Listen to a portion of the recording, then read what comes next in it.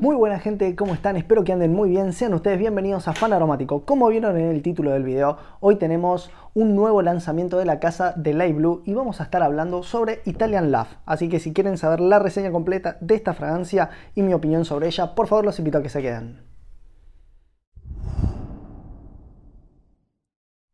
Y bueno, para comenzar con el tema del packaging vamos a hablar un poco sobre su botella que es igual a todas las Light Blue. Como pueden llegar a ver el formato es lo mismo. Me gusta mucho más esta eh, edición que tiene por la tapa en blanco, por destacar algunas cositas como el Italian Love, pero es prácticamente la botella igual. Lo que sí hay cambio es con su cajita, ya no viene aterciopelada, ahora viene como una caja común, normal, tradicional, con lo cual ni le resta ni le modifica para mí que esté aterciopelado, no, no le cambia nada, es una caja eh, de las típicas comerciales, no es tampoco ni resistente, es una edición limitada. Este es un perfume que es obviamente una concentración de eau de toilette y es un perfume que viene de 100 mililitros y si no miento de 50 mililitros.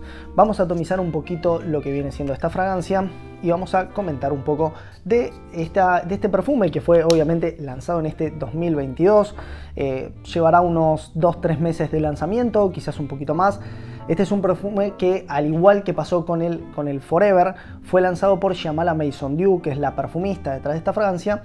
Y bueno, las notas eh, son muy similares a la fragancia que le estoy comentando. Es más, de hecho, muchos eh, comentan que hay poca diferencia entre lo que es un cambio al otro. Es un perfume que están ambos, supuestamente están como que este va a ser el único año que se lance, este fue en el 2021 y este en este 2022, que tienen semejanza. Bueno, vamos a descubrir un poquito esta fragancia.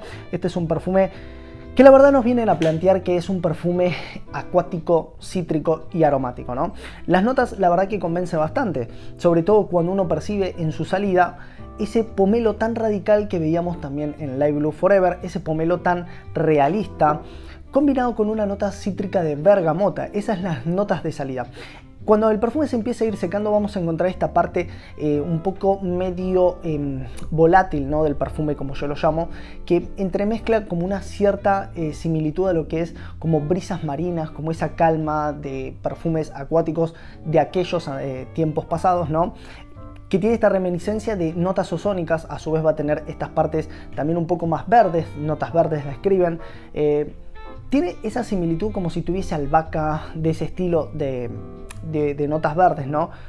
Eh, quizás se te puede venir a la cabeza algún que otro perfume, por ejemplo a mí se me viene en la cabeza, sacando de lado Live Blue Forever, eh, el tema de esta, de esta similitud con estas notas verdes, esta apreciación que tengo yo con el Ege de la casa de Nillané, ¿no? Este, este, esta similitud verde. Luego obviamente eh, va a tener la nota de hojas de violeta que le da como una parte un poquitito más seria a la fragancia, un poquito medio apolvada, o sea, no es tan apolvada como tal, pero sí un poquito más jabonosa, ¿no? Y luego va a tener una nota ahí de madera de cachemira que lo que va a hacer esta madera de cachemira va a ser eh, tratar de ponerlo un poquito más cremoso, darle un toque medio amaderado y un poquito más cremoso. Cuando el perfume se empiece a ir secando ya vamos a tener eh, una nota que yo sí que la percibo bastante, eh, sobre todo en su secado, ¿no? Que es esta nota de madera de Gaiac que le da como un toque más ahumado, no tan ahumado, ¿no? Pero es un toque ahumado, más amaderado que la versión del Light Blue Forever. Eh, y lo que vamos a encontrar acá va a ser una similitud, una parte medio jabonosa del almizcle, una parte más verdosa del patchouli en combinación con la nota de vetiver.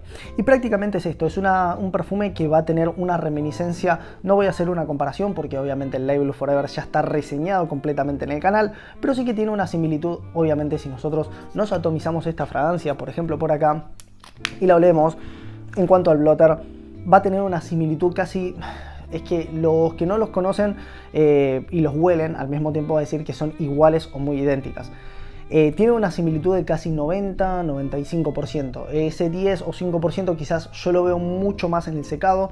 Eh, quizás este tiene un impacto, el Live Blue Forever, un impacto un poco más fuerte de la nota de pomelo, pero ese pomelo lo comparte también acá, esta nota de bergamota también la comparte por acá y estas notas ozónicas también se comparten. Es un perfume con muchísima semejanza. Ese 5%, que no voy a hacer una comparación, porque prácticamente es esa la diferencia, ese 5 o 10% que yo llego a percibir un poco más en su secado, es el tema de las notas amaderadas.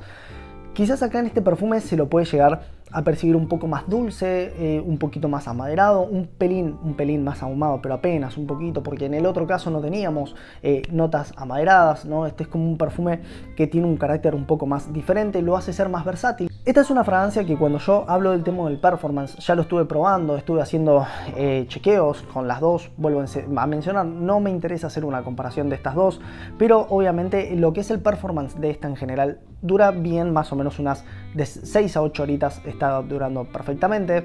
Eh, y también, obviamente, eh, en mi opinión, es, como que sale no tan fuerte como su versión Live Blue Forever, no es tan fuerte, no es tan invasiva como esta Live Blue Forever, es como más tranquila, va a estar, se va a sentir, es una estela bastante bien, no sé, por ejemplo, eh, a mí me ha pasado que hay días que eh, se, torna un poquito más volátil y termina siendo como que en una hora, hora y media empieza a proyectar una estela de un metro, metro y medio y luego se empieza a ir achicando, queda ras de piel, pero queda muy bien, es un perfume que va bien, que te va a acompañar esas 6 horas tranquilo, 8 horas se puede extender un poquito más a ras de piel, pero es un perfume que va en burbuja unipersonal, te mueve, se siente, se percibe bastante bien.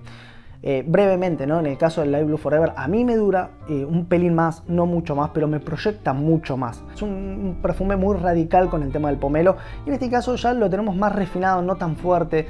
Eh, me parece como que esta es como si el Live Blue fuese una versión extrema ¿no? de, de este Italian Love. Este Italian Love es un poquito más, más reservado, más tranquilo. Yo siempre lo veo como, como esta imagen, estuve, estuve comparándolos, me parece que son muy similares, que son fragancias muy idénticas en, tema de duración. Me parece que van por el mismo lado, solo que proyectan mucho más la, Italia, la, la Live Blue Forever.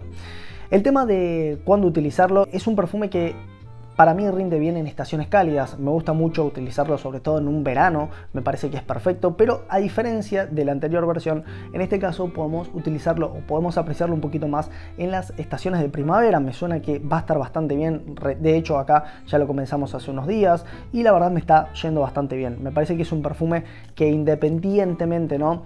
De todo lo que viene siendo eh, lo radical que es su cítrico, las notas ozónicas, las notas verdes, me parece que está bien, es ideal para estas estaciones. Para el día o para la noche, este es un perfume que me parece que se va bastante bien centrado en lo que es la parte diurna, ¿no? Este es un perfume bastante diurno. El tema del sexo de esta fragancia para mí es un perfume totalmente masculino, las chicas lo pueden utilizar, pero hay una versión femenina de este, de este perfume y también del Live Blue Forever tienen sus versiones femeninas, eh, por eso en esta versión que es la versión masculina me parece que sí está correcto el titularlo ¿no? como que es un perfume masculino. El tema del uso. Ya con la Live Blue Forever me parecía que era un, un perfume bastante casual que llegaba un pelín a lo semiformal, me ponía en duda si llegaba o no a lo semiformal porque realmente es muy muy radical, me parece que, que es un perfume casual. Y ahora que olí esta versión, este perfume me parece que sí que va de lo casual a lo semiformal. Yo creo que este perfume tiene ese 5 o 10% de diferente que lo hace ser más versátil. Me parece que es una muy buena opción. Eh, de hecho, yo hoy en día, si tuviese que elegir en uno de estos dos, obviamente me gustan los dos, me gusta 200 mililitros de esto, está bien porque puedes combinarlo el 100 y 100. Hay, por ejemplo, el Light Blue Intense, eh, tenés su versión de 200 mililitros. Me parece que esto, comprándote uno de cada uno, tenés una versión que puedes utilizarlo uno para un momento, otro para el otro. Me parece que está perfecto, ¿no? Porque tenés 200 mililitros, en fin. Pero eh, lo importante de esto para recalcar, ¿no? Como lo hago yo, es que si tenés que elegir uno en particular, eh, yo me elegiría un poquito más por el Italian Love.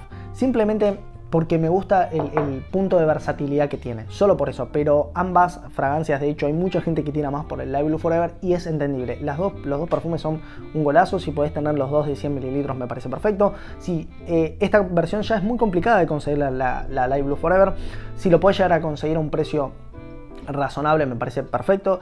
La Italian Love, eh, la versión, no sé por qué, la versión masculina siempre está más barata que la femenina. Si lo podés conseguir, es una edición especial, no sé si lo van a prolongar esto o si después ya se discontinúan.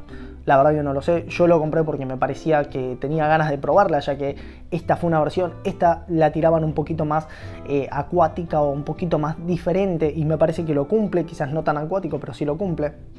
Así que es una fragancia que, si tengo que elegir una de las dos me quedaría más con el Italian Love, por eso que les comentaba, pero me gustan las dos. Ambas me gustan, me gusta tener 200 mililitros, poder utilizarla cuando quiera, en cualquier momento y no tener, estar tan pendiente de decir, uh, me estoy gastando esto me estoy gastando más de lo otro. Me parece que utilizar las fragancias y eso eh, quiero también dejar ese breve mensaje, ¿no? Porque es breve, no tiene nada que ver con la reseña, pero por más que sean ediciones limitadas o esto o lo otro, es importante entender que los compramos para usarlo, para eh, poder disfrutar de estas fragancias y no para eh, coleccionarlas y dejarlas ahí a un costado y decir, bueno, es... Eh, si te quedan 5 mililitros, no se pueden conseguir y lo querés tener ahí como si ya no te sirva más, pero querés olerlo, me parece perfecto. Pero tener 100 mililitros y decir, no, tengo miedo, tengo miedo a que no la encuentre más, con ese miedo no podemos utilizar ninguna fragancia, de hecho, ¿no? Pero yo pongo en esto, eh, si, te gusta mucho, eh, anda por una, anda por la otra. Fíjate que ah, me parece que la, la, Live Blue Forever difícil, pero se puede llegar a conseguir. Y la Italian Love está en venta, o sea que cualquiera de las dos me parece perfecto tenerlas. Así que bueno, gente, eh, vamos a hablar sobre los puntos positivos y puntos negativos de esta fragancia. Puntos positivos, me parece que tiene. Analizando bien esta fragancia, me parece que tiene unos cítricos destacados, una nota aromáticas verdes, esas notas verdes las tienen perfectas, bien marcadas. El fondito de almizcle mezclándose con las notas eh, un poquito más amaderadas me parecen excelentes también. Tiene una composición aromática que si uno lo huele lo puede comparar con un perfume nicho tranquilamente. Vuelvo a mencionar, eh, lo mismo me pasaba con el Live Blue Forever. Es que yo los comparaba con estas casas eh, nichos, por ejemplo, índole, aqua di parma, que tienen estos cítricos que dominan muy arriba, que están muy eh, bien logrados. Bueno, estas fragancias esta en particular también eh, me hacen acordar muchísimo a esas casas, entonces me parece que por el precio que se maneja, por la versatilidad que tiene, sobre todo en esta fragancia, ¿no? la versatilidad, el uso eh, y cómo está construida aromáticamente, me parece un perfumazo. A pesar de que hay muchos que eh, también han comentado en foros, en redes, en cualquier lado, hay opiniones, reseñas y todo eso, que te dicen que si ya tenés una no vale la pena la otra, pienso que si te gusta uno y querés tener el otro, como no hay 200 mililitros, me parece es una fragancia típica de 200 mililitros, puedes ir por una de 100 o por una de 50 para experimentar y probar eh, qué tal si te parecen o no. Y si no tenés esta Live Blue Forever y ya no la conseguís, me parece que esta es una excelente opción, ¿no? Eso es eh, lo positivo. Lo quizás negativo, lo único negativo es que si no te gusta este cítrico radical de lo que viene siendo el pomelo y esas notas que para mí en este caso del Live Blue Forever se ve un poco más fuerte, eh, no sé si te va a llegar a gustar, puedes probarlo en las perfumerías, está esta fragancia. A mí me parece que en esta versión sí que lo domina bastante bien, lo equipara y lo empareja bastante bien con diferentes tipos de notas y lo hace ser más pasable. Eh, en la anterior versión era un poquito más chocante, un poquito más fuerte. Pero me parece que si no te gusta tenés que ir a probarlo. Así que bueno gente, hasta aquí ha terminado esta reseña del Italian Love de obviamente Live Blue de la casa de Dolce Gabbana. Así que si ustedes tienen algún tipo de comentario que hacerme sobre esta fragancia, sobre la otra, eh, si tienen alguna idea o algún cambio que quizás yo no lo estaría percibiendo, por favor déjamelo saber en la casilla de comentarios. También agradecería como siempre que si te gustó el video dejes un like, que te suscribas al canal si es que no estás suscrito y que actives la campanita para que te lleguen las notificaciones de próximos videos. También voy a estar dejando en la descripción del video mi Instagram para que puedas chequear todas las reseñas y algunos shorts y reels que suelo eh, también subir. Cualquier cosita, estamos en contacto gente, muchísimas gracias por haber visto el video y nos vemos en la próxima. Hasta luego.